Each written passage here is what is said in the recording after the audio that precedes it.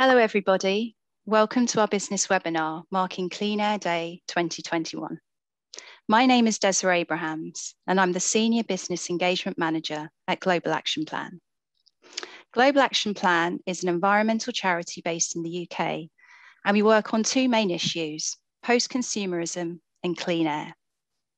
We're the founders of the Clean Air Day, the UK's biggest awareness raising campaign on air pollution and today we're marking our fifth anniversary. So we champion clean air in many ways, and we work with very different stakeholders to elevate the issue, including children, teachers, hospitals, local governments, local communities, and more recently, business. So in 2019, we established the Business Clean Air Task Force. This small group brings together a small group of companies that see air quality as a strategic, strategic sustainability issue.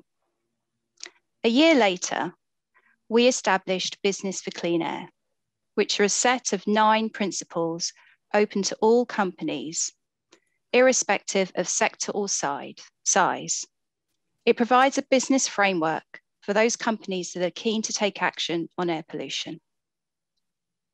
And just two days ago, we launched our white paper, Air Pollution, the Next Business Challenge, which has three main purposes. Firstly, it's a business call to action. We want to see business taking action on air pollution. Secondly, it offers recommendations specifically to 19 industry sectors and some general guidance for companies. And thirdly, it fleshes out the new business responsibility, the corporate responsibility to respect a child's right to a healthy environment, which is the subject of this webinar today. So as of October 2020, companies globally have a responsibility to respect a child's right to a safe, clean and healthy environment following the passing of Resolution 4530 at the Human Rights Council. And critically, Resolution 4530 mirrors the UN Guiding Principles on Business and Human Rights, another human rights resolution that was passed 10 years ago. Resolution 4530 reaffirms the separate duties and responsibilities for governments and companies.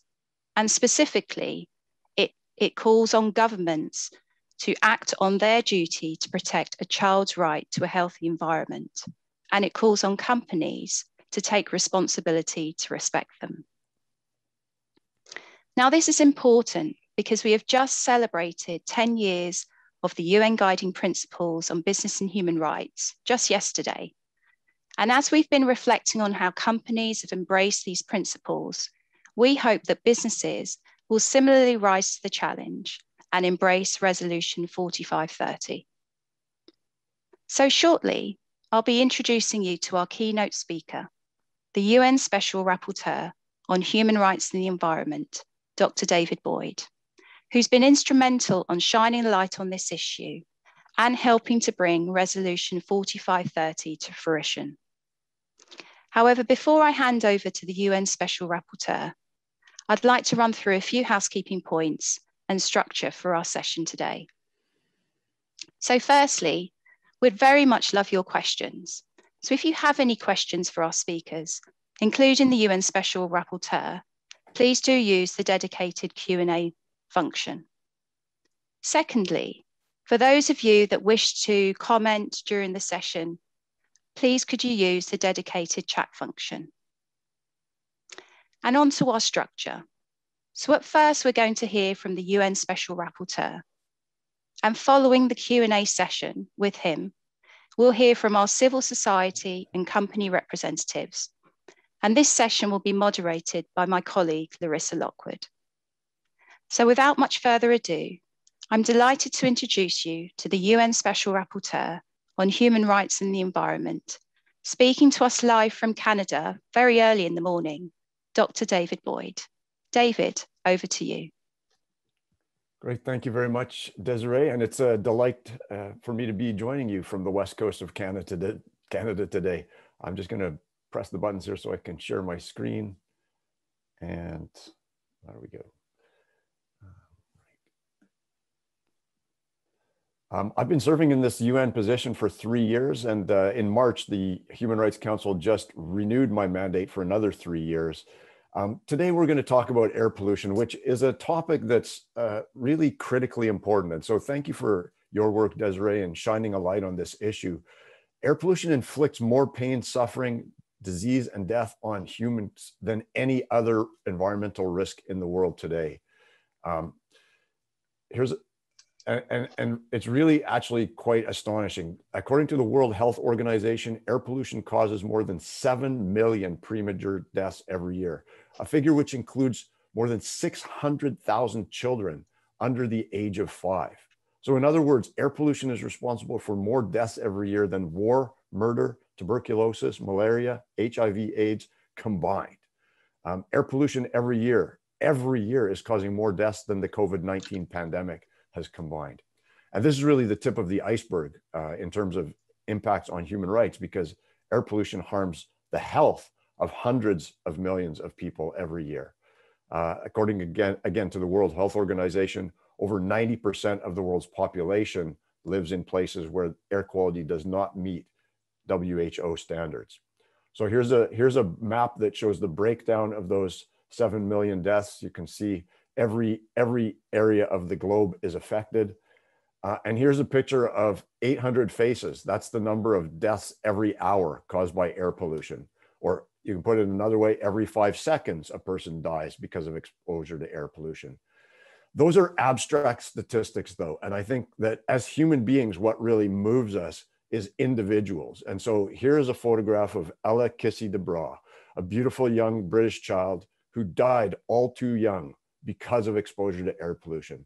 The first case in the world where the death of a of a of an individual was directly connected to air pollution. So really, I dedicate my work on air pollution to the memory of Ella Kissi-Debrah. When we think about air pollution in places like Canada and the UK, we think of outdoor air pollution. But in fact, Air pollution is a combination of indoor air pollution and outdoor air pollution. Um, household air pollution in many countries continues to be a major problem. Uh, the burning of solid fuels like wood, crop residues, coal, and dung for cooking and heating within the home. Also, the use of kerosene for lighting. Uh, that's a major contributor to the environmental burden of disease from air pollution. And then, of course, outdoor air pollution is caused primarily by electricity generation, um, industry, agriculture, transportation, uh, and poor waste management. So here's a picture of two lungs, uh, a moderately healthy lung on the left that's been exposed to uh, moderate levels of air pollution, and the lung on the right, which belongs to an individual who has been exposed to high levels of air pollution. So the science is absolutely crystal clear that exposure to air pollution causes respiratory illness um, and exacerbates conditions such as asthma air pollution can also cause lung cancer. But many people don't realize that the, the biggest impact of air pollution on people's health is on heart disease and stroke.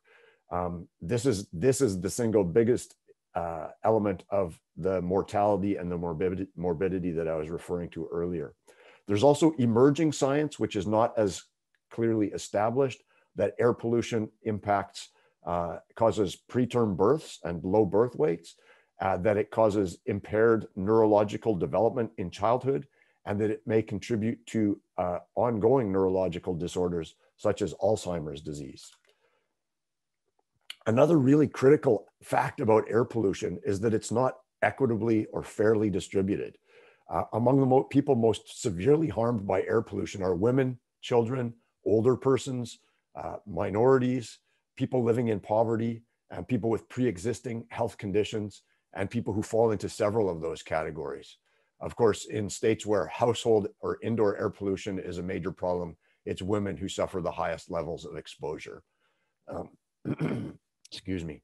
Uh, this is just a map showing the distribution of premature mortality caused by the main pollutant that causes premature deaths, which is fine particulate matter. You can see uh, China and India, partly because they're largest large populations, but also because of high levels of air pollution, both of those countries with over a million premature deaths every year.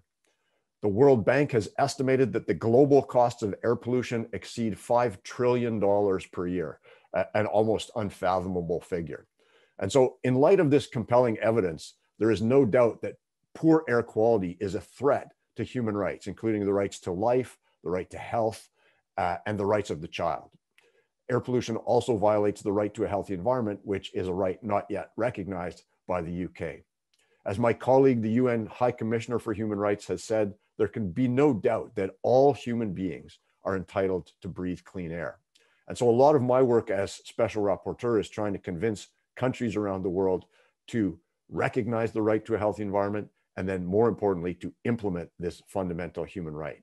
In addition to clean air, it includes, it includes clean water, healthy food, non-toxic environments where people can live, work, study, and play, healthy biodiversity and ecosystems, and a safe climate. And here's a map of the world showing that uh, the majority of countries do recognize the right to a healthy environment, either through their constitutions, through laws, or through regional treaties. Uh, but there are some big gaps on the map Canada, the United States, Australia, New Zealand, China, Japan, and the United Kingdom. My predecessor as special rapporteur put together a document called the Framework Principles on Human Rights and the Environment, which clarifies the obligations uh, of states as they relate to um, human rights and the environment. And those are really three main categories of procedural obligations, substantive obligations, and special obligations towards those in vulnerable situations. And of course, as we're talking about today, businesses also have responsibilities. Um, and this is a really critical part of the puzzle because businesses are responsible for a large share of air pollution, either directly through their um, activities, such as producing electricity and generating greenhouse gas emissions and other air pollutants, or indirectly through their products, such as selling motor vehicles. Um, so I tackled air pollution in my very first report to the Human Rights Council back in 2019 because just because this is an issue that the Human Rights Council had never had put squarely before it, and because of the magnitude of impacts on human life and human health. My report came out with seven basic steps that all countries need to take to address the problem of air pollution. Um, first of all, states have to monitor air quality, and you can see from this map there are regions of the world that lack air, basic air quality monitors. Secondly, states need to identify what are the main sources of air pollution. Um, that's obviously essential in terms of creating priorities for action, and it will vary from country to country. Third, states must provide the public with information about their rights and about the um, impacts of air pollution on their health. Uh, that enables public participation in decisions that can affect air quality, and it ensures that people have access to remedies in cases where their rights are being violated or threatened. The fourth step is that states have to enact legislation, regulations, and standards to create enforceable limits on air pollution. And it's really remarkable that there's such wide variability uh, among states in terms of their air quality standards, including over 60 states that have no air quality standards at all. Um, the fifth step is to develop a national clean air strategy, which is a plan that with timelines and targets and measures to be taken to improve air quality. Um, and then the sixth step is to implement and enforce the clean air plan. Um, and seventh, to ensure that there are adequate resources for that implementation and enforcement and an evaluation process to make sure that if progress is not satisf satisfactory, then the plan can be strengthened and additional resources allocated.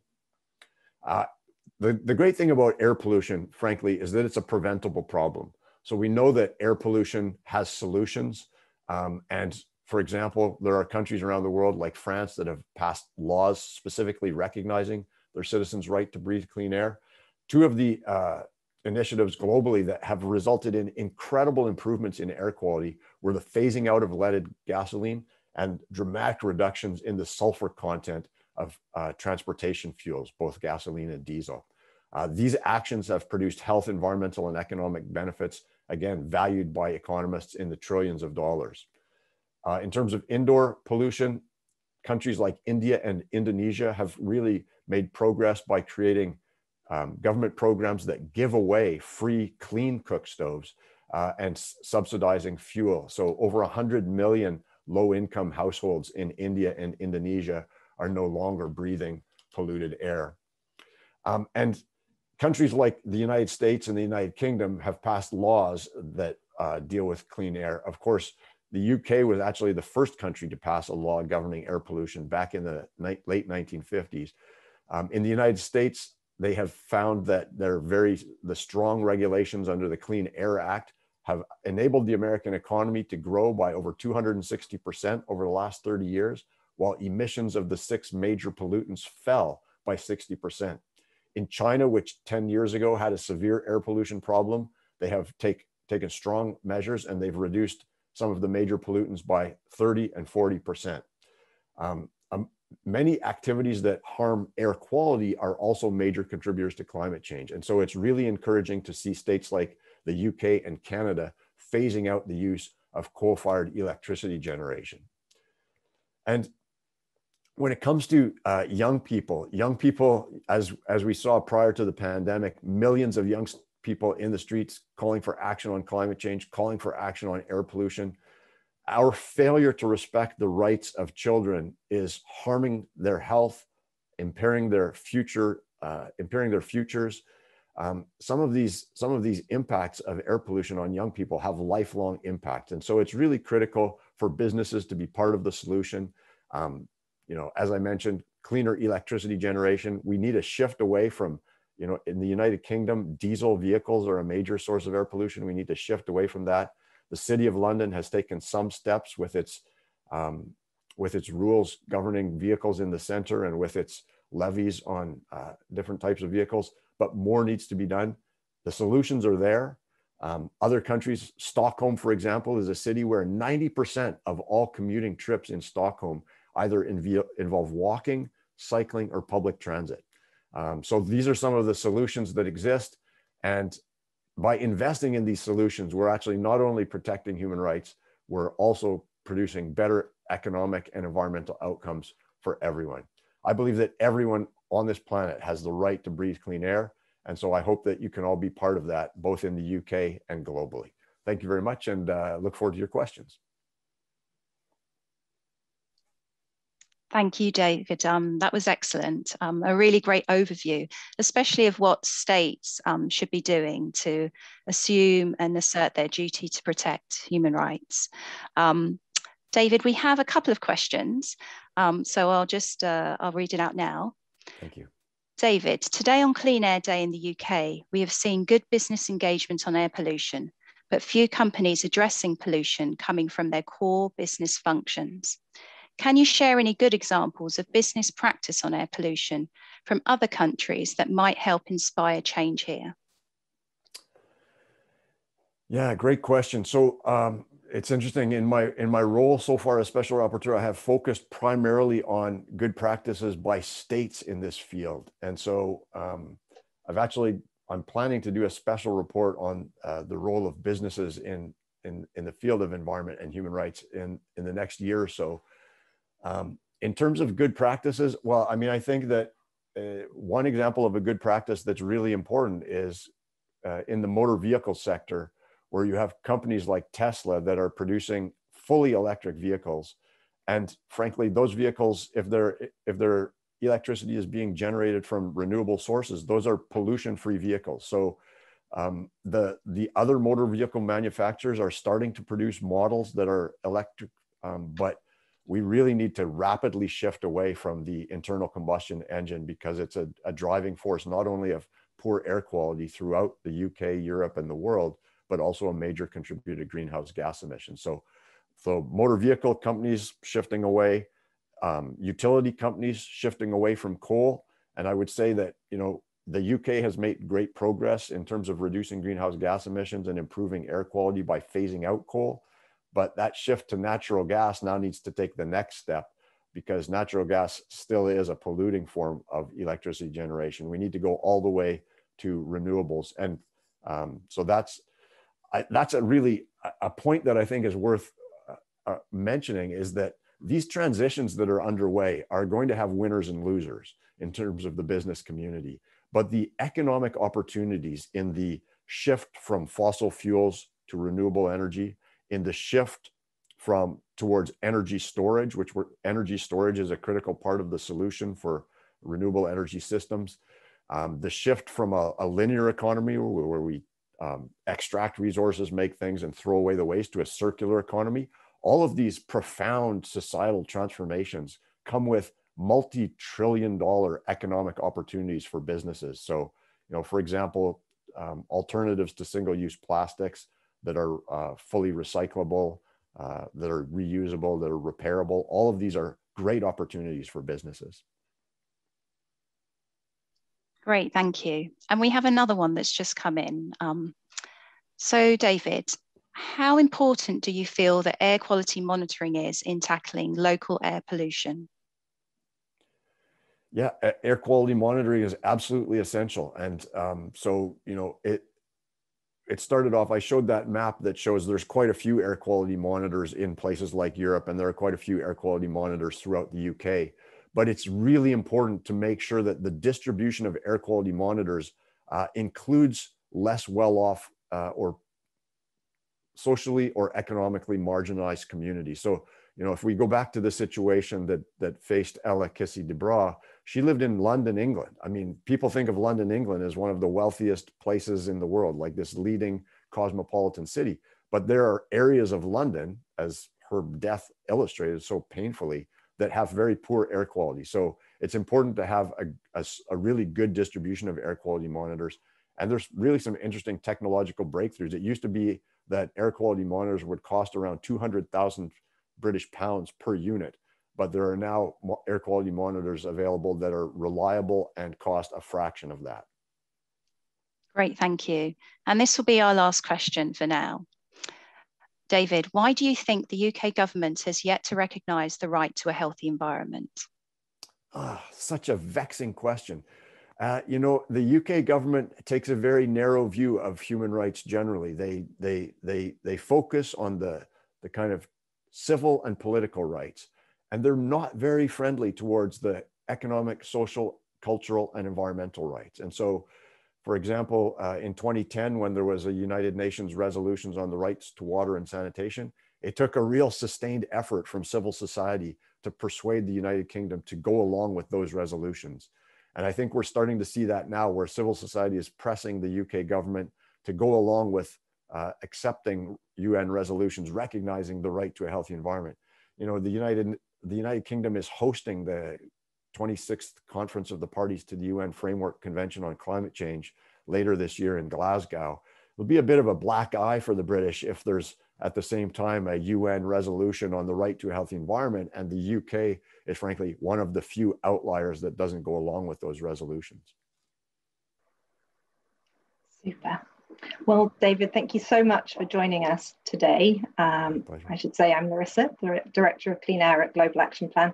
Um, it's fantastic to get the international perspective because, of course, air moves. This is an international problem. And of course, a lot of what our behaviors in the UK, you know, the products we buy and so on are being manufactured in factories that are causing pollution elsewhere. So we definitely all have a role to play in the international field as well as tackling air pollution in the UK. And very timely that you mentioned the Ella Kissi-Debrah case, because of course today, um, I don't think it's any coincidence that on Clean Air Day, government and health bodies were required to respond to the coroner's report to say how, what action they will take in response to his recommendations to make sure that no more children um, essentially die from air pollution in the UK.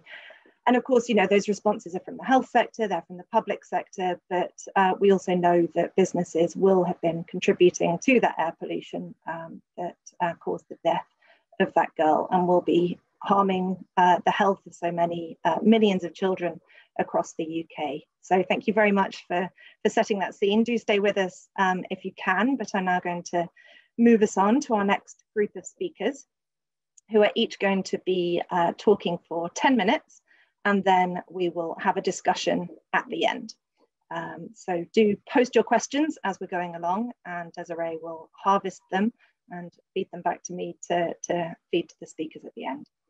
So uh, we're going to go in this order. So I'm really, really delighted to be joined by this panel today. Um, it being Clean Air Day, we have seen tremendous um, business activity on um, air pollution today, but um, a lot of it is, is um, sort of uh, one of the questions alluded to, has been more on the staff engagement side of things, how staff are coming to and from the workplace, rather than really addressing some of the uh, fundamental emissions that, that businesses um, are contributing.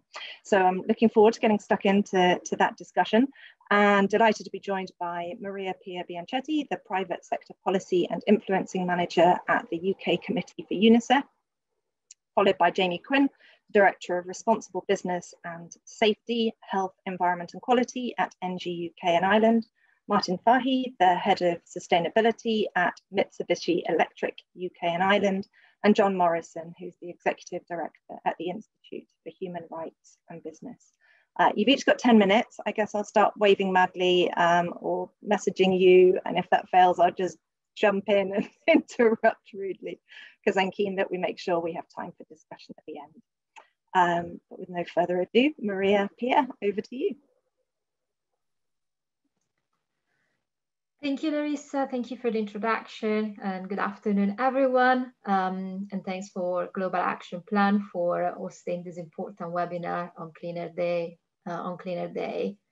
Um, as we all know, um, this year theme for Clean Air Day is to protect children's health. And for us at the UK Committee for UNICEF, this is an incredibly um, important topic to our mission and to our work. And as a bit of an introduction of what UNICEF is and does, UNICEF works in, under, in over 190 countries uh, and territories across the world, um, providing support in emergencies and technical advice to governments. And all of our work is underpinned by the United Nations Convention on the Rights of the Child. And particularly today, and for this webinar, is of special importance Article 24 of the UN Convention on the Rights of the Child, which is the article that provides for the right of every child to grow up in a safe and clean environment. Um, and this specifically has underpinned all of our work to date to protect children's health from the, the harmful effects of air pollution and specifically of particulate matter 2.5. Around three years ago, uh, we launched um, a campaign called Toxic Air Campaign, which was informed by three reports um, and the flagship report was called Healthy Air for Every Child. Um, and uh, um, it was published in 2019. And the report found out that in England alone, over 4 million children are growing up in areas with unsafe levels of air pollution. And why this is a problem for children, um, David uh, gave a very good introduction on the harmful impacts of air pollution on human um, and uh, on human rights. And the most harmful type of air pollution for children is particulate matter. These are toxic emissions that are in the air and they can have uh, uh, long-lasting um, health problems effect for children, so including stunted lung growth and an increased risk of asthma and pneumonia. And fact is that the impacts uh, on the health of children is not only on their health in the present, but actually those impacts translate into their adulthood um, and that affect, affect essentially their development opportunities later in life. In fact, long-term exposure to um, uh, these toxic emissions could leave children at risk of suffering from lung cancer and cardiovascular disease later when they become um, adults. So as you can see, um, children are uh, disproportionately affected by air pollution, and yet they are the ones who least contribute to air pollution.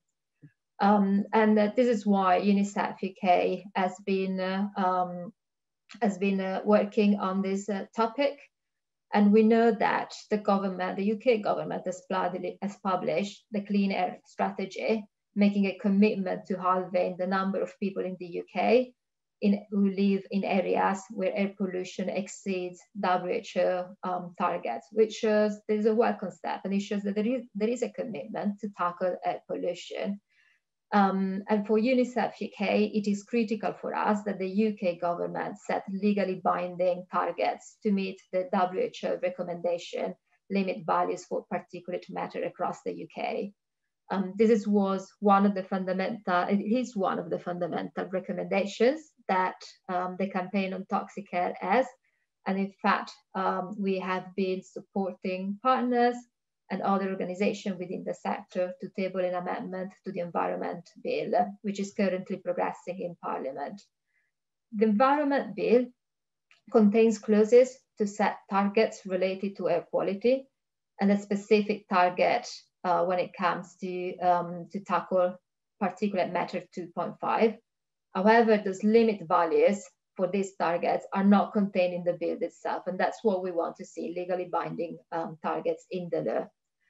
Um, and now that the UK has left the EU, we see a real opportunity to effect a positive and world-leading change to effectively uh, tackle air pollution, um, which is why we continue to um, support this area of work and to, uh, to um, strongly advocate for protection in the law for the health of children.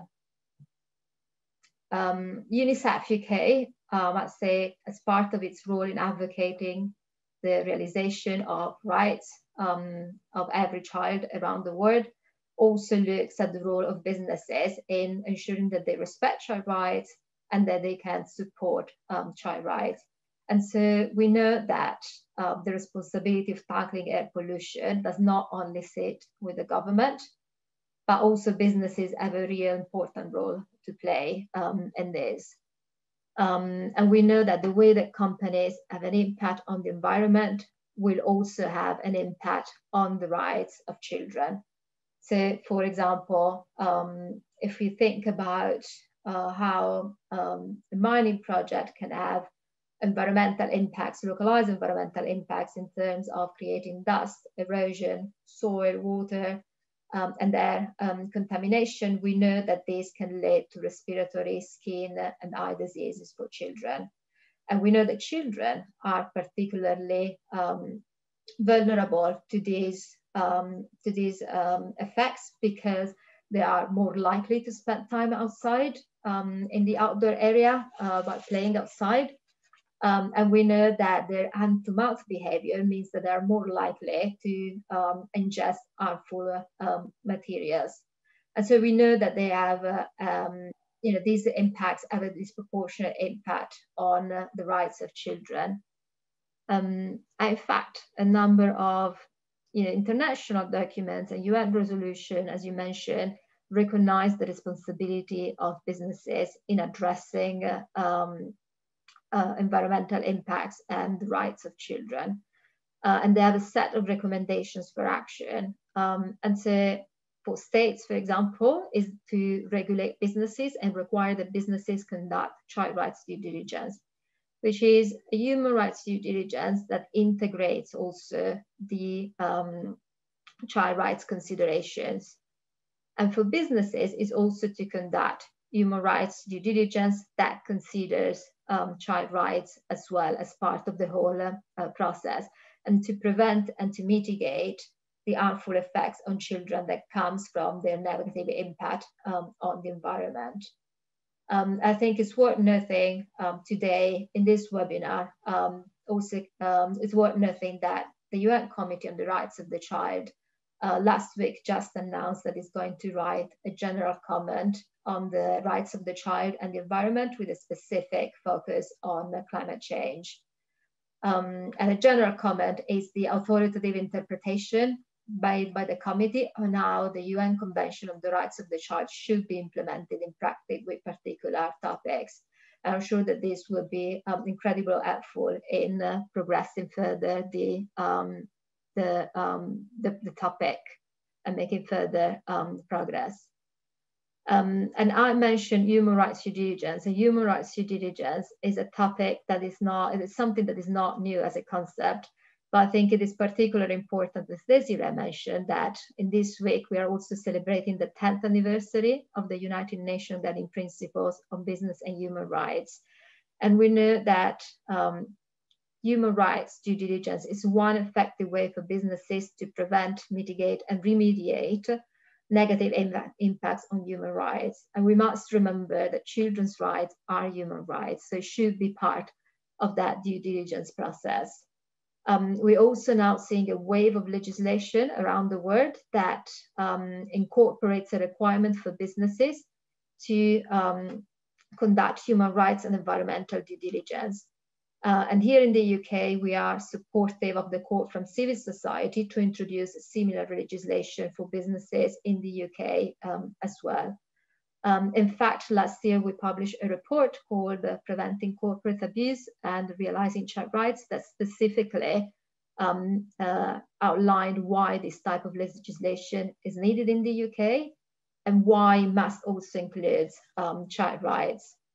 Um, we know that a number of businesses are taking voluntary action to address their negative impacts and to respect human rights and child rights. However, for the scale and speed of change that we need to see to actually make um, effectively respect for child rights uh, a reality, we believe that government action through law is the one that is required because we need a system that creates incentives and rewards for those businesses who actually uphold the responsibility to respect children's rights and that scales up action at a speed that will motivate those who instead are not taking enough of a stronger action. And for doing this, um, we need to make sure that any legislation is holistic and comprehensive, uh, that looks at um, uh, children's rights holistically, at human rights and children's rights holistically, and requires businesses to specifically take into account how they affect different groups of particular risk of vulnerability and marginalization, such as children.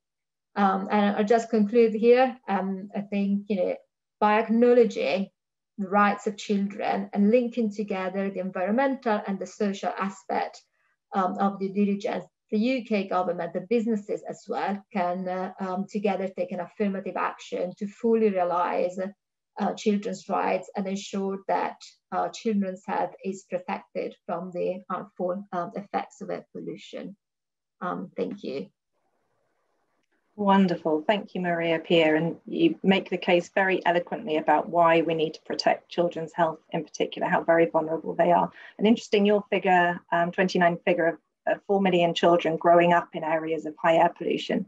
So today we put out some stats on the number of children being educated in areas um, with dangerously high levels of air pollution over WHO standards, and that's about 3 million children in the UK being educated in, in those areas. So uh, obviously far too many. Um, so thank you very much for, for that um, hard-hitting case as to why we need to act um, on children's rights as part of human rights. Thank you so much. Um, great, now we're going to move on to Jamie Quinn um, from ENGIE to tell us about um, what your company is up to to tackle air pollution. Jamie, over to you. Brill, thank you. Thank you, Larissa. Just checking you can hear me all right. Yep, perfect. Grand, okay. Um, so I guess first off, you know, thanks very much for the invite and to speak today. A bit of a shout out really, you know, I think every year uh, Clean Air Day uh, is a fantastic event, uh, you know, and, and gains so much traction from all different sectors and, and walks of life across the UK. So once again, uh, I've just seen the the media coverage actually that's that's been shared this this year, and it's absolutely fantastic. So uh, well done to Global Action Plan, and thank you for the invite today.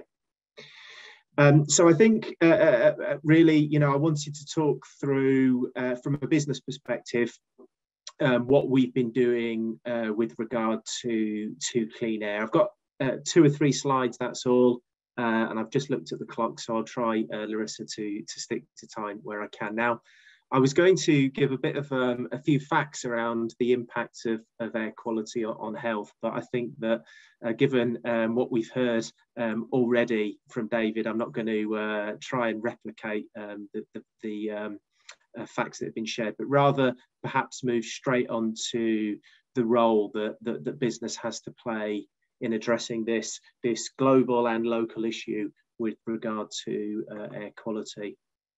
I'll try and take you through some practical examples um, from within the organisation um, some that are specific to our core deliverables as a business, but others that can be adopted uh, indeed by all, all businesses, uh, no matter what sectors that you work in. Um, I, I, I, also think um, uh, it's worth re-emphasizing the point around the immediate orientation when people hear about clean air to go to outdoor um, uh, air quality. And I think that you know what we've seen over the last few years is a growing appreciation of uh, the importance of indoor air quality as well. So this kind of um, acknowledgement um, that we spend most of our time indoors. Um, you know, we we are potentially exposed to uh, you know chemicals from the the, the the products that are that are indoors, um, from the gases, uh, the vapors, uh, and indeed through uh, the air that's pumped inside uh, through a lot of the mechanical ventilation as well. So I think um, certainly from business perspective and, and, and, a general health issue, um, an awareness of indoor air quality is really important. And I guess to layer on top of that, we've seen that even more emphasized with the COVID pandemic and, and, and the um, how essential it is to ventilate uh, indoors, um, both um, uh, naturally and, and again through through mechanical ventilation to avoid this kind of transmission risk around airborne uh, aerosols of COVID. So kind of trying to link the, the, the, the two together there. Um, I think from a from a business perspective, um, we recognised a number of years ago, like any any big thorny issue, um, it can't be solved in isolation. So we, we, we very much look to partner. Um, uh, we, we have done so with um, GAP for many years. Um, and I'll, I'll, pick up on some of the activities around that shortly, but also academic institutes, uh, King's College, uh, London, and also the um, Sustainability Supply Chain School. So again, picking up the role that our suppliers can have in, in helping us to collectively achieve some of these, these aims. And what we did was we built it into uh, an overall strategy for the organisation. And I guess today's conversation is very much focused on supporting our communities uh, and, and the environment. So maybe we'll sort of skip on to, to the next slide now, if, if, if, if we may. Um, I'm ju just trying to sort of um, focus in on a few things here that we, we've been, been looking at. So um, I was trying to remember actually, Larissa, whether it was 2018 or, or, or 19 or maybe even before, but we, we had some conversations with Global Action Plan around kind of um, trying to address the issue of um, a huge demand for um, commercial vans and a limited supply and how perhaps uh, if a collective intent could be expressed to government and manufacturers, it would really um, help to mobilize. Now, um, where we are now, this conversation is uh, commonplace and it's discussed a lot. But actually, if you go back three or four years, it really wasn't in, in this in this position. So I think we took the the view that it was it was necessary. And um, as a part of that scheme and others, um, you know, some uh, significant organisations have signed up to support um, both from the corporate world and also from from from local authorities. And i think you know that will continue in its next guise uh, as well. Um, we've also been keen to um, support through the business clean air task force. So um, you know getting together with other like-minded organizations that really wanted to uh, work collectively uh, collaboratively around moving the agenda on um, moving on to the, the next piece around our um, uh, targets as a business, we wanted uh, this not to be uh, in any way, shape, or form uh, nice corporate rhetoric, but actually to back it up with uh, action and investment. So, um, actually, back in 2018, we made a commitment around getting 20% of our fleet onto EV and zero diesel by 2025. Uh, a lot of other organisations are, are now, I'm, I'm, very happy to say, um, committed along the same path. Um, uh, and we are continuing to ramp up the ambition uh, around that as well. And what does that look like? Well, uh, to give you a flavour, we've had over 500 vehicles that were either diesel or petrol that are now pure EV uh, and we've invested over 600,000 uh, pounds on uh, infrastructure, charging infrastructure. Um, so we provide home charging for free for our employees to try and get them uh, to come on that journey, uh, excuse the pun, uh, with us. Um, Um, we've also, as an organisation, invested heavily in the public and private networks. So, rapid chargers, uh, over 425 rapid chargers across the UK, over a thousand fast EV chargers as well. So, um, somebody mentioned earlier on around this being core to an organisation's deliverables, and hopefully that gives an example of uh, what we're trying to do uh, um, in, in, in the business as well. I think we um, have looked at the partnership and, and spoken about that already. Um, maybe on the, the, the the tree fund as well. So uh, this again was created in 2019, um, and it, it, was created to tackle a couple of issues for us.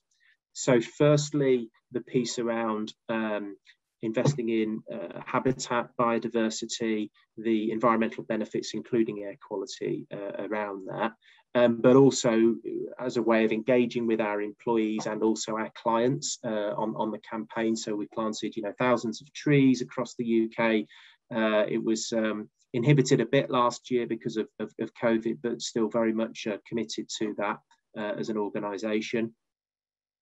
And then the final piece is around, um, you know, what we're doing on, on, on this journey around zero carbon. And maybe we'll just kind of move on to the next slide uh, at that stage, if that's okay. Um, conscious of time, Larissa, don't panic. Um, two minutes, thank you. Um, so the, the the first bit I've, I've shown the charter to you. So this is a commitment for the business, commitment for all employees to make objectives. Really trying to get it down to throughout all levels in the in in, in the business. Um, we're in the final stages of finalising our uh, zero carbon roadmap. We didn't want to rush into that and, and just put out something uh, uh, in, in, in, the media around our commitment, but be very, very clear and sure that we can deliver upon that roadmap. Um, we, um, as part of our business, um, we help other organisations, local authorities with their own uh, roadmap to zero carbon as well and I've mentioned around the EV fleet. Um, our employees, you know, we can't forget about our employees. Um, I've mentioned around the goals, but we've all seen a massive uh, transition over the last 16 months or so, and um, you know that's becoming sort of formalised in terms of our policy of whatever you want to call it, flexible working, home working, hi hybrid working, um, how, how we formalise that for our employees, both from a quality of life actually perspective as well as air quality uh, and environmental benefits. And then we've done some other stuff um, which has been really great around the engagement of health and well-being, um, various campaigns through the summer and winter periods actually. Um, and um, you know we've, we've um, very much uh, supported Clean Air Day over the last number of years and continually do surveys and webinars and various pledges across the organisation uh, to uh, try and embed this uh, in, in, the business and show what we can do for our own employees and also the communities that we work in. So Larissa, I'll probably uh, stop there and you never know, I might be short of time. yeah, bang on. Thank you very much, Jamie. Um, and yeah, I, I, always feel mean sort of cutting everyone off. So do keep posting questions because uh, we can all have a, a, conversation together once everyone said their piece. Um, so yeah, Jamie, yours is, is one of the companies that's always super active on Clean Air Day and it is very inspiring, I think, for others in the business sector to see um, what you guys are up to. And really good point about addressing indoor air quality. Never has uh, ventilation been such a topic of well, I'd say dinner party conversations, but we're not having them anymore, are we? But playground conversations, like no one's ever been interested in ventilation before, but suddenly everybody is. And there are obviously very strong links between uh, air pollution and COVID 19, because those who are suffering from health conditions that are caused or worsened by air pollution are those who have these underlying health conditions that puts them more at risk of complications and death from COVID. So, yeah, definitely worth uh, looking at both of them tomorrow together. Thank you very much. We'll come back okay, um, with you and Maria Pia in a moment. But next up, we have Martin from uh, Mitsubishi Electric, uh, who, uh, well, I know you've been looking at indoor air quality as well, Martin, but um, you also have a, a, broader environmental sustainability vision. So tell us about that and what you're up to. Yes, well, well thank you, everyone. And um, uh, yes, you'll, you'll move my slides on as, as we talk, won't you? So thank you very much. So thank you to uh, David, Larissa, Desiree. Um, David and uh, Maria gave us a very clear and vivid overviews of this important area and the responsibilities we all have to play our part in maintaining and improving the air we breathe. I'm Martin Fahey, Head of Sustainability for Mitsubishi Electric, UK and Ireland, and we're a global manufacturer for many technologies, but specific to our UK and Irish activity, we are living environmental systems, which is heating, ventilating, air conditioning systems relevant to today's and wider discussion. But we're also lifts and escalators, factory automation, which is robotics and control, etc., power systems, and automotive. That's not the uh, Mitsubishi um, cars, that's completely different to us, but we supply key components to the uh, auto industry we were asked to look at why uh, it's vital for companies to start addressing how they positively contribute to better air pollution through their business activities and in, in order to protect children's health. Thank you. I thought I would start by highlighting our high level overarching environmental plan, which we call Environmental Vision 2050, with 2050, of course, being the net zero endpoint or prefer preferably sooner. This follows our Environmental Vision 2021 plan. You can see the uh, pattern there, in which we were successful in delivering on the occasion of our 100th anniversary as a business this year. We have submitted our scope one, two, and three emissions reduction targets to uh, Science Based Targets International for their oversight and confirmation that our plan, fully enacted, of course, will mitigate, mitigate against our impacts, contributing to in excess of two degrees of global temperature rise. We also work with Carbon Disclosure Project to offer transparency on our results and our actions. Thank you. Sustainability is not just the energy we consume or the emissions we generate. Rather, we, as many others, are working to help deliver on the 17 goals as defined by the UN. We have five core goals that help to form our planning, including goal three, health and well-being, which we see as our colleagues and customers using our solutions, as well as the communities that we operate in around the world. Thank you. One of our core pillars is creating a society in tune with nature. The diagram on the left helps us to understand our place and required actions in local communities and ecosystems. On the right is one of the regular audits of a factory site in Japan. This is Nakatsugawa, and I was fortunate enough to visit a few years back when we were allowed to travel to that degree. Uh, and they explain the unique ecosystem they have on site including salamanders, something we don't have in the UK. Thank you. Part of this theme of being in tune with nature is using our facilities and training our staff to deliver this message to younger generations.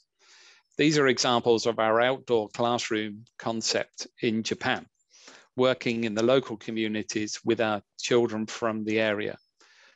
There are examples of this activity from all around the world, Thailand, China, and in Europe and the Americas. However, on this next slide, closer to home, our award-winning learning curve has delivered environmental training and support to primary school children. Our next step is to look at secondary school levels, all of which is in line and supportive of their current curriculums. We have many solutions that can be applied to a building to make it more efficient and operate at lower energy levels and looking to recover heat wherever it could be deemed as a waste source, such as a byproduct of a cooling load, for example. To understand how these solutions can be applied better, we have built our own ZEB, or Zero Energy Building, situated at our Information Technology R&D Center in Kamakura, Japan. This allows us to look at different combinations of heat and ventilation and air conditioning, control, heat recovery, and internal and external air monitoring so we can understand the balance between passive and mechanical and heat recovery ventilation options. As you saw from the environmental vision, we see our role as also using our footprint to get involved. Why I'm here today, why we're pleased to be part of and supporter of Clean Air Day again and everything that Global Action Plan are doing. this is a, an example recently from our um, hub blog site in promotion of this event. We have also worked with BESA, the Built Environment Engineering Association, in the creation of a free guide on internal air quality. That's got mentioned uh, a couple of times today, and quite rightly so. Um, and we didn't want to make this um, difficult to get hold of in any way by putting behind some sort of data gathering wall. So it's completely free. Um, uh, you won't be asked for your uh, details, but if you go out and search for our digital library and then indoor air quality, you will be able to get hold of this um, free guide. As well as being a partner of the Global Action Plan, which brings us to this event today, we're also partner of the British Lung Foundation and the great work that they do in this area as well. These are some of our colleagues making their pledges for Clean Air Day. Um, thank you all for letting me take part in today. It's been a, a, a great honour to be part of it. Um, we consider um, that we have a responsibility as a business to think long term, as I think you've seen from our 2050 planning, the company and our 100 year history the very first product we made as a business was uh, was a desk fan. So we have been moving air around um, internally and from external to internal for a, a lot of years, and uh, we will continue to do so. I thought I would just leave you with this um, this image. Um, as we, uh, it's a small segment of the wider vision I mentioned right at the beginning, but it's showing our commitment to cultivating relevant knowledge with many colleagues so that we can amplify this message out and our actions across our sites around the world. So thank you very much. I'll leave it there. Lovely. Thank you, Martin. And great to have that long-term vision, 2050 vision, but also hmm. the short-term action that you've started on this vision. You're not leaving it till uh, 2049 no. before you get started. No. So great. And that very similar to Jamie. I think you know we've uh, we've been considering it long and hard, so we're just at the point of making those announcements now. So yeah. Super. Uh, keep the questions flowing in uh, while we now move over to John Morrison, the Executive Director at the Institute for Human Rights and Business, who's going to reflect on two distinct yet complementary roles, the state's duty to protect and the corporate responsibility to respect human rights. John, over to you. Thanks, Larissa, and congratulations to Global Action Plan for your Clean Air Day today and the media coverage you've had I'm going to kind of do what I told you, Larissa, but I'm going to sort of weave around a bit because I don't want to repeat things that other speakers have already said. I'll go back to something that David said at the beginning. Um, it's a shame, I think. It's a shame when, when a special rapporteur speaks to a UK, UK audience that we haven't ratified um, the, the right to a healthy environment. So it shames me that, that our country hasn't, particularly as we'll be hosting the COP26 in Glasgow later this year, focusing on carbon in the atmosphere. But of course, as I hope to say, the issues are, are very linked. There's nothing new about this issue of right to clean air. The Romans were moaning about it 2,000 years ago. And if you look at the way that many of our cities have developed, including London, there's a reason the expensive housing is in the West End and the cheaper housing has been in the East End. And that's largely to do with prevailing wind and, and air quality um, over the past 200 years. I'm proud that we did clean it up in London with the 1956 Clean Air Act. Also, um, David um, recognized, you know, the, the, the, way we've been able to lower lead and sulfur in, in, in, in, emissions. But obviously there's a lot, there's a lot more that we need to do. Um, now, I would be one of the people advocating for a new Clean Air Act in this country. Um, the, the report you issued today showing that one in four school children are exposed to um, air quality standards below that acceptable to the World Health Organization is also an issue of shame. We owe it to Ella and her legacy that this country now takes clean air as serious as it did in 1956 and that we take the next step. This does mean tighter regulation, so the state duty to protect, comes in when we think about transport, the energy sector, agriculture, manufacturing, and, and, and, and business generally, to lower emissions and maybe to prohibit um, pollution in places where children uh, go to school and also where they, they play. So regulation, yes. State duty to protect, yes. The first thing I'll say, but, but, I'll, but I'll use my remaining minutes to talk about the corporate responsibility to respect and the things that business can do. And I think I, I want to draw parallels again to the climate sector because I, I sit on a couple of uh, advisory groups for UK ministers uh, in this country, and I've, I've just seen the sea change over the past two or three years on climate um, and how suddenly everybody's taking it very seriously indeed, um, including the UK business community. And I think the issue is not just about regulation, but it's also about access to finance has become a tipping point. Um, and the concept of stranded assets now, not just for oil, gas, and mining companies, but for all business. Business knows that they can't continue uh, in business activities that are going to be socially unacceptable in five or 10 years' time because of their environmental inputs. And I think clean air sits very strongly there too. So, what can we learn from the progress made on carbon for, for clean air generally?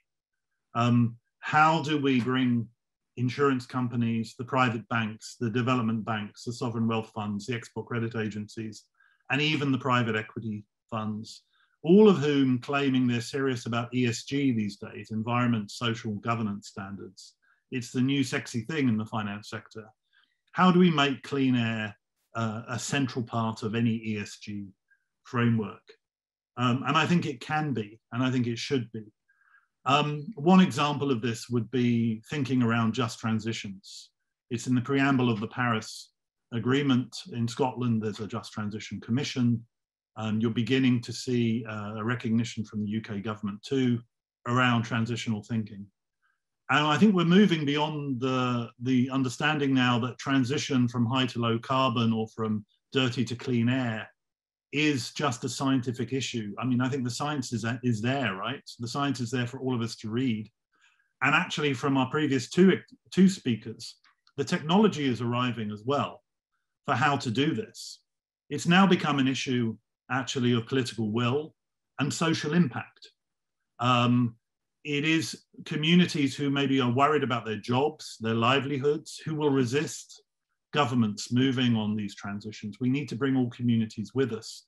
And that's the same for the clean air scenario. It, it, strikes me as strange that we have the TCFD and in the EU, the, the taxonomy tackling some of these issues with very little focus on social risk, when social risk is actually, I think, becoming the big issue for environmental transitions and why we continue to silo away environmental and social issues when they're so inextricably linked. And if you talk to Ken Saro-Wiwa in Nigeria in the 1990s, when I started in business and human rights, many of these activists around the world opposing pollution in their in environments do not distinguish between the environmental social impacts of pollution, nor should we. So to finish then, to summarize, I'd like to see laws and penalties, yes, but I think access to capital is going to become a big mover and a big leverage point on, on air pollution too. Should be an issue for investors before they invest in, in, in companies. They should be asking these questions. Boards should, should look at this as an issue of corporate governance, of director duties. You need to make sure that in the boardroom of every British company, you have someone who understands air pollution, who has visited places where Ella lived, right? And not just private schools and, and leafy suburbs, but understand how many British people live and the, and the dirty air they have to breathe. We need to see this as an issue of UK exports. It's not just good enough to run around the world signing trade agreements. This needs to be an issue of, of due diligence in relation to business activities overseas from UK companies. And I think if we begin to do all these things, and if we begin to talk about a new Clean Air Act, when the world comes to the UK, to Scotland in, in Glasgow in, in, this November, we can hold, a, hold our heads up high and think that uh, clean air is an integral part the, of the transitions ahead. So thank you very much. Wonderful, thank you, John. And some excellent ideas at the end about things that we need in place laws, penalties, access to capital, and someone responsible for air pollution at board level. Absolutely great ideas. Um, So let's keep this, I'm going to come to questions now. So we'll bring back all our five panelists. I think we still have David with us, which is great. I know you're coming at this from slightly different angles. So what I'm going to do is throw a few questions at you and you can sort of pick the ones that are most relevant um, for you to respond to.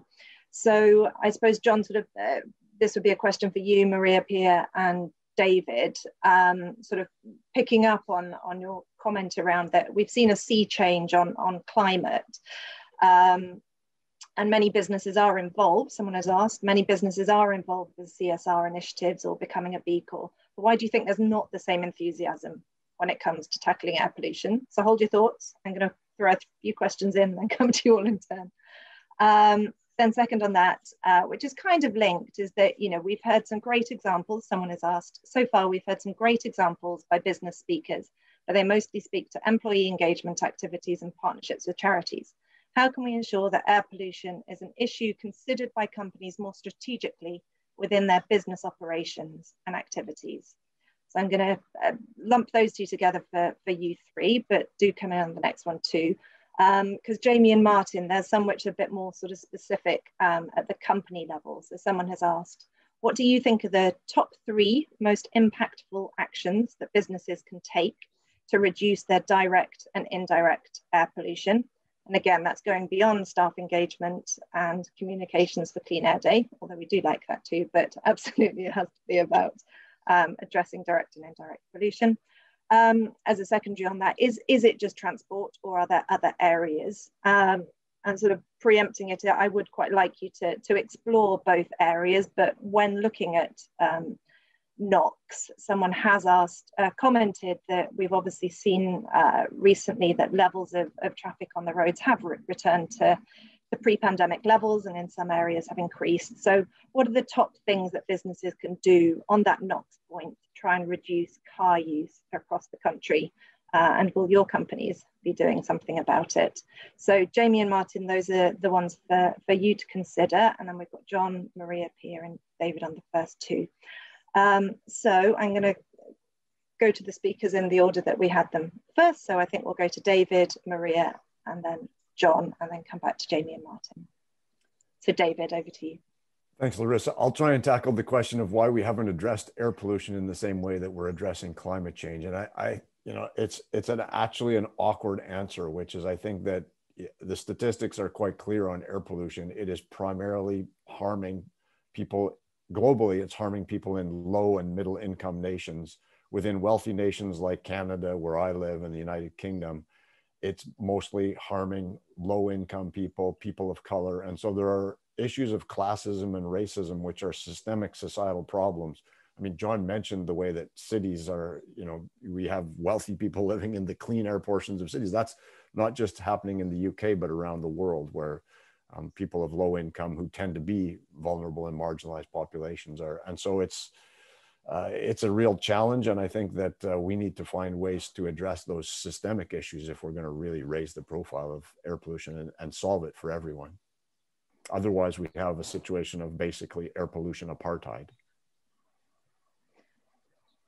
That's strong, but I like the way you put it. You're absolutely right. Air pollution apartheid. Let's think on that. Um, Maria, Pia, let me come to you. Sure. Um, so I think what what do we need to do to make sure that you know it becomes a core business um, issue to tackle air pollution? I think we need to be very clear that businesses should respect human rights and child rights, and they can also take additional action to support human rights and children's rights as well. And so is the support part is not a trade-off for respect. First of all, they need to respect human rights and child rights. And in order to do that, the very first step is to actually make sure that they identify those impacts, that they know that their core business operation, their activities, their products, where are they going to make harm or where are they going to possibly make harm. And on that basis, find a solution on how to prevent and mitigate. And there it is critical that you actually engage with those who are affected, with all those groups that must have a voice to um, be able to participate and contribute contribute to um, the solution. I think you know, I think we are slowly, um, I think we are going and transitioning towards looking more at these environmental issues and these social issues together. We're not fully there yet, but we have started. I think that would be something that will help progress in the area as well when we start looking at the topics holistically. Yes, air pollution, it is an environmental harm. However, it has a huge impact on the rights of, uh, of people. And therefore, there needs to be a holistic um, assessment, holistic action by businesses uh, as well. Super. And yeah, someone else has, has commented on, on um, how social risk is becoming the big issue, but how can we marry the environment and social so that companies are taking it, taking action on both at the same time? So it's uh, clearly something that needs to be done. I don't know if you have a quick answer to that as to how it can be done. Um, how can you marry the, um, you know, the question is that how you can marry the social risk and environmental risk. I think, you know, one way to do it is that when you look at what your uh, your impacts are, just look at the overall picture rather than in parallel silos. I don't think the E and S in the ESG so far have been looked together. They've all been looked um, in some in a silo. Uh, but you know, if you look and start making questions, what does it mean to create this environmental impact for the communities where you are, then you can start merging the two um, topics. So it is about it is about taking a more a wider look and what the issues that you are looking at and trying to consider what uh, what else it is around your environment your your operating context that may might have a negative impact from what as a company you are doing putting in the market and etc great. Thank you. Um, great. And john on to you. Sure. Yeah i agree with all that. And i I would just add two other things really. Um, I, for me, it's about the true social cost and the true financial cost. I think that gets us where we need to be. In terms of true social cost politically, we need a, we need a sort of David Attenborough or Greta Thunberg, I think, for this issue. Um, the Welsh government has a uh, in, um, intergenerational commissioner now. And I think in many ways, this is an issue of intergenerational justice. It's, it's justice for children, but it's justice for children yet to be born, right? Generations yet to come. And I think that, that there needs to be a social, the political price. We were caught up in too much political short-termism, um, as we all know. Um, let's get some long-term political thinking around around this. And then on the business side, you know, for me, it was Nick Stern's work on climate and his development of the concept of stranded assets that began to move the financial markets nearly 10 years ago.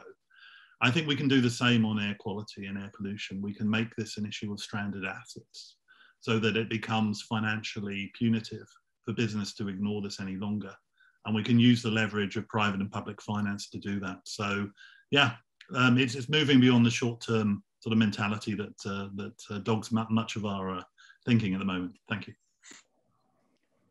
Thank you, John. And uh, coming then to, to Jamie and Martin, I suppose initial reaction, how does that sound to you? Sort of uh, financial penalties, punitive uh, penalties if, if uh, you're not performing on uh, yeah. air pollution.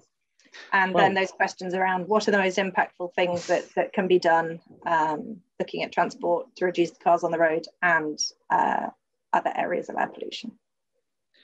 Yeah, well, I mean, hard to um, argue with what John's saying. John's saying that you know a, a place a true cost on on on these things. You know, that's a discussion around carbon as well, arguably undervalued. You know, as a commodity as well. So uh, we can't complain at that. Um, uh, three uh, three actions. I don't suppose there's a, a any the firm right answer in this, but I mean, what I came up with. Um, as businesses is um, you know stop burning stuff. You don't have to burn something to uh, um, to create what you need now in buildings in the built environment. Um, then you'll still need to consume energy so consume the right energy you know through the right um, in the right way. So renewable energy we've um, been able to do that fully uh, in the UK. We're not able to do that in some other territories just at the moment, but we're looking as to how we could achieve that. And then I think the third point for me, and, and you've heard from Jamie, he'll answer this himself, but it's like leveraging your your footprint. You know, try and get involved, do something, um, uh, be part of the discussion, um, like um, like events like today, um, that sort of thing. That's the the three I came up with. Um, car use. Did you want me to touch on car use? Yeah. Yes, please. Um, we like many, yeah, me, we like many, many other businesses. Obviously, we're looking at um, uh, blended. What, what, uh, what that looks like for us um, from a working point of view at the moment. Uh, I, I suppose where we are is is if we are going to be in, let's be in for a reason, a valid reason. Let's be in and, and collaborate, for example, when we're in, um, not just be in to be at the desk by a certain time. Uh, and then hopefully that will sort that out. And I suppose my own, the other thought about there is my own car um, journey, if you want. It's hard to talk around this without puns, isn't it? But, um, you know, five years ago, I had a, a very modern diesel. We've heard about diesel in the UK, and I was, you know, almost smug thinking I've got this really nice smart diesel. I've now got uh, a plug-in uh, uh, electric hybrid, which actually goes back next week. And I think about that diesel as almost agricultural now. And then in a few months, uh, my fully electric vehicle arrives, you know, so I've been on that, that five year um, step myself as a lot of other people will be and uh, in our business as well as to how we uh, make that shift. So um, yeah, I think blended, be in for a reason. And as we uh, we make that transition to um, a different, better type of vehicle. Thank you very much. And Jamie, your thoughts? Top three actions and how do we get business cars off the road? Uh, thanks, thanks, Larissa. If, if I may, just quickly on the point around, um, you know, the true true cost and value. I think that what business does is it responds to uh, the economic environment and it responds to policy. So if the strength is put in place around that, business will react and has proven that it's very effective at doing that. So in this kind of post-Brexit world, when lots of these discussions are being had, uh, potential around standards that we work to, how is that reinforced through policy, which again creates that environment for business to to act. Um, I also think there's a big piece there around um, the quantification of financial versus non-financial performance. And so when we talk around, you know, we've got in in, in legisl- uh, legislation around the Social Value Act and actually public procurement driving a behaviour around it not just being on the cheapest cost, but um, social and environmental, giving that more teeth, uh, which again uh, will create a response from from business. Now, I'm not. This is not me saying this is all around policy and it's all around government and business has its own uh, right, but I'm, I'm, just making the point that um, you need to create the goalpost um, to make stuff happen. Um, the, the, the, the, the, point on the, the, the, kind of top three areas, I think, um, you know, Martin has picked up on some of them. I think the, the, the way I would probably try and pull those together is uh, one, looking at travel kind of generally as an organization. So it would include the, the, you know the transition through to vehicles which we've spoken but also uh, commuting and and this kind of uh, flexible working for, workforce but putting that into policy. So what does that mean? How, how are employees supported? What does that mean around whether they're claiming expensive or, or not? You start to get into a lot of the detail quite quickly actually and that's what uh, employees need support on as well as their welfare when working from home so all the focus is, you know, getting people into the offices, but what are you going to do to support people when they're in their home home environment? The second one is around, as, a, uh, as, as, mentioned, on combustion, so heating, cooling, what can be done around new technologies, transition through to that, as well as procurement of, of, of energy. Um, and then perhaps the third one is is really, you know, the, the, the crude rule of thumb that your impact is where your spend is. And so, you know, addressing uh, and influencing what's in your control. Uh, uh, and what I mean by that is your suppliers. So how can you try and uh, uh, shape and work with suppliers in terms of what you expect from them as part of their service delivery as well? Super. Thank you very much. Um, the questions are coming in thick and fast um, while our time is running out. So I'm going to ask um, one question of all of you, and then there's an extra one for, for Jamie and Martin, given today's topic. So the one for all of you, I think, is is uh, very relevant given we've got this this quite unique opportunity coming out of this pandemic. We really have a moment to rethink uh, how we want our society to work and to you know, we had that glimpse of a clean air future uh, last year when, you know, we all stopped driving around and the air pollution sort of dropped by 30%, halved in some parts of cities. But people noticed it was quieter. Uh, you could hear the birds sing, you know, you could chat to your neighbor over the street. It felt so much safer to walk, cycle, and play in the street. People really like those aspects. So someone's asked Sustainable Development Goal number 11 is focused on sustainable cities and communities how much do we need to redesign our urban areas and ways of life to ensure clean air? And then the extra bonus question for, for Martin and Jamie, because I think it is very relevant. Uh, upon hearing about resolution uh, 4530, do you now feel more motivated to take action to address air pollution to protect children's health? So shall I go in the reverse order? So I'll start with you this time, Jamie, and go backwards. thanks, thanks, Larissa. Um, uh, yeah, I mean, personally, um, uh, the motivation has always always been there in terms of um, um, my beliefs, but I guess in, in terms of uh, what I take, you know, the role that business can have around lobbying, continuing to lobby and influence, uh, you know, through through government and what we believe is, you know, a sensible path, and we are already engaged in a lot of those those areas. So I think that's the most proactive way uh, that we can be involved. Thank you, Martin. Apologies. Yeah, I had to be the first one to not do the mute right at the end.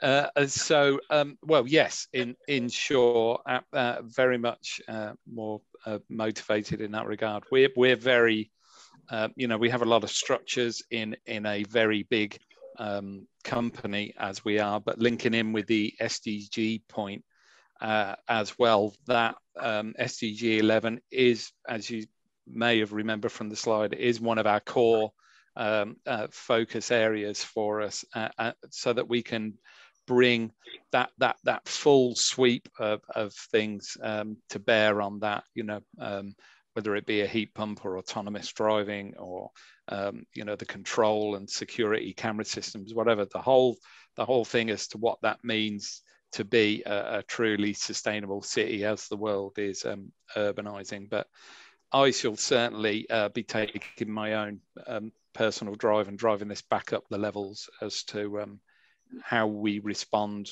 have been responding um, in that regard. So yes, in short, and then the longer answer I go as well. That's great. Uh, thank you very much. Um, John? I guess as a human rights person, I have to balance the, the, the sort of the good and the bad in a way. I mean, I think we do have this great opportunity of, of eradicating um, dirty air from our cities that we haven't had for 2,000 years, right? Um, so I'm a big believer in green technology and, and, and the role it will play. What I'm not a believer in is sort of green utopian thinking.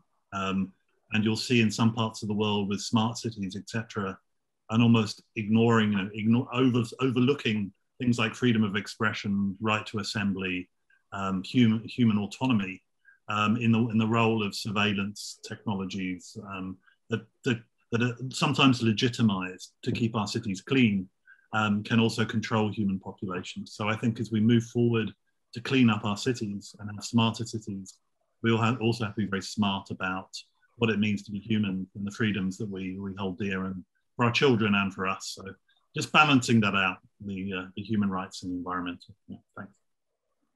Thank you. Maria Pia. Thank you. Um, I think you know, it needs to be more um, coordination about departments and then talking to each other, breaking down silos. And if actually, if there are decisions being taken, these decisions need to be informed. So if you, um, if departments are making planning decisions, they should consider uh, children's health when they do those decisions. And also yeah, local action that is supported by the government is also um, important and needs to take into account that indeed there are some areas that are worse affected um, than others. Lovely, thank you. And David, the final word to you before I wrap up. Thanks, Larissa. Uh, yes, I think that in terms of SDG 11, it's really important to redesign cities for people. You know, if we've spent the last century designing cities for cars, um, and it's really quite shocking. I mean, I did a lot of work with the city of Vancouver here in Canada on their green transition. And when we started out, we had, you know, the engineers do calculations. 33% of Vancouver is parking lots, roads, and other areas dedicated to cars. 15% is green space for people to enjoy. I mean, those numbers should be reversed. So we clearly have our work cut out. We need to we need to redesign cities so that people can get to school, get to work, get to parks by walking, by cycling, by hopping on a public transit. And and so that's a, that's a big task. But um, the most livable cities in the world are the greenest cities in the world. So the the writing's on the wall, I think. Yeah, makes you wonder how we ever got to this situation, eh? Who would design a city around a vehicle rather than a person. Yeah, right. uh, let's let's let's use the insight we've uh, now arrived at somewhat too late. Super. Well, thank you so much to all my speakers, uh, our speakers, um, and for sharing all your knowledge with us today. There have been many more questions that we haven't got to, so do feel free while I'm wrapping up to um, answer those questions directly. Some are more specific on trees and things. Um, so do have a look in the Q&A box and answer them while I'm wrapping up. Because um, really, well, what a discussion this has been. And indeed, what a clean air day this has been. For me, it started um, rather early with a BBC radio interview. And I was then delighted to discover that the story about 3 million children or one in four um, school children in the UK breathing polluted air had hit the papers, the front pages, um, most media channels. Uh, and by 9 a.m., hashtag Clean Air Day uh, was actually trending at number one on Twitter. So we really are reaching new audiences with this information, which is just so crucial. Um, so needless to say, I was feeling quite buoyant at our first event, which was an all-party parliamentary group meeting on air pollution, where we discussed the same topic as we are here, uh, the urgent need for action on air pollution to protect children's health, but in this case, the role of policymakers. And that political theme then continued at the um, following Westminster Commission event. And I'm really pleased that um, MPs have been increasingly active throughout the day, um, showing their support um, on social media. Again, it was the hashtag Clean Air, Air, Day has been the most used hashtag by MPs today. Um, Clean Air Day was discussed in the House of Commons this morning by the Secretary of State and government today issued their response to the Future Prevention of Deaths report um, in the case of Ella Kissi-Debrah, uh, committing to more action on raising public awareness. So I need to look in, into it in depth. It came in late this afternoon, but um, that's promising. Uh, meanwhile, in Wales, the Deputy Minister for Climate Change committed to introduce um, a Clean Air Act based on World Health Organization guidelines and the new Environment Minister in Scotland trailed their new clean air strategy. strategy. So yeah, it's been a super busy day. Um, we've seen councils doing stuff. Westminster Council announced plans to pedestrianise parts of Oxford Street and Regent Street. Schools have been doing so much artwork, um, putting it on, doing videos on social media. In Glasgow, they've been beaming up um, their artwork on buildings. NHS organisations have been running events to train staff on air pollution to be able to advise patients, including a visit from the Mayor of London, Sadiq Khan, to the Royal London Hospital, where they've been doing just that. Um, but I'm pleased to say that soon this shouldn't be the sole responsibility of champions in these hospitals, as the Royal College of Physicians has pledged to review the curriculum and to look systematically at how to increase clinicians' understanding about air pollution, which is great. Um, and of course, there's all the wonderful individual champions such as Sue and her signs, who's been standing at a railway crossing all day asking people to turn off their engine. There's been lovely clean air displays in libraries in Windsor and Maidenhead. And of course, business action. I've actually never seen so much business action um, on Clean Air Day. There does seem to be a lot of willing and activity on the staff pledges side of things and getting people to and from work in a clean way uh, which is super, a great start. But what we now need, of course, is for um, companies to address pollutants coming from core business. So this is your call to action. Um, don't uh, wait for the legislation to arrive, for it will, but you know, take the early mover advantage and respond to your corporate responsibility to act on air pollution. We know the public want action. 94% of people in the UK, in fact, think it should be a priority for the UK and want business and governments to act more urgently. So now is the time. As you've heard today, you as businesses have a direct responsibility, as governments have a duty to act on children's right to have a clean and healthy environment, and this means clean air. So this is your Clean Air Day 2021 challenge. Today, tomorrow, um, can you publicly declare a corporate commitment to take action on air pollution? And then between now and Clean Air Day in June 2020, could you develop a company plan to reduce operational impact on air pollution, take action on any identified adverse impact on air quality, and then start to report annually, say every Clean Air Day, on your progress. These are actually some of the um, principles of our Business for Clean Air initiative. So if you are going to do those things, then do sign up um, and get the credit for it. We do need to see business leaders now stepping up because um, this really is what needs to happen. This is what children need you as business leaders to do to protect their health. Because once you know how bad air pollution is for children's health, which we've heard today, um, you really can't unknow it. All you can do from this point on is act. And as Stephen Holgate, the UK Clean Air champion here in the UK and also a very eminent professor in um, respiratory health put it, future generations are dependent on us. So um, just want to say thank you very much to our speakers once again, um, to David Boyd, Maria Pia Bianchetti, Jamie Quinn, Martin Fahey, John Morrison. It's been a super uh, evening's discussion. Thank you for joining us at seven in the morning as well, uh, David. And um, have a look at our new um, white paper, Air Pollution, uh, the new business challenge um, sign up to Business for Clean Air, and I look forward to hearing your progress on tackling air pollution this time next year. Thank you all very much for coming and have a lovely evening. Thanks Thank you, much, everyone. Larissa. Appreciate it. Thank you. Well done.